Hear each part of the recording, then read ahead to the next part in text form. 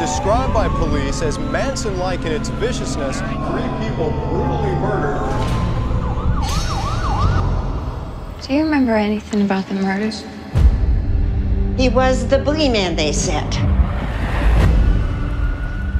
Can't catch the boogeyman.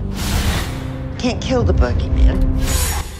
You know, before that summer, everybody would leave their doors unlocked. And after the summer, you saw a stranger. You'd run the other way.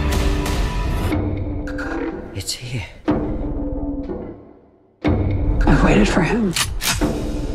He'll come for you.